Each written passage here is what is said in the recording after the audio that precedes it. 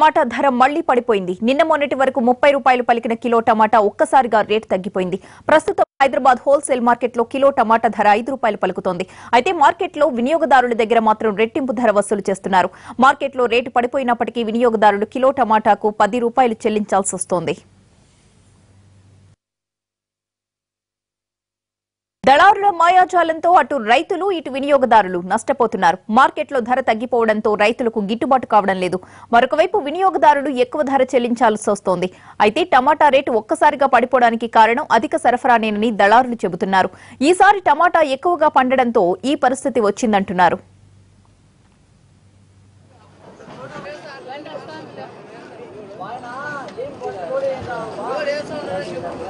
కష్టపడి పండించిన పంటకు కనీసం రవాణా ఛార్జీలు కూడా రావడం లేదని రైతులు వాపోతున్నారు. దీంతో ఏం చేయాలో దిక్కుతోచక పంటను స్వయంగా రోడ్లపై పారబోస్తున్నారు.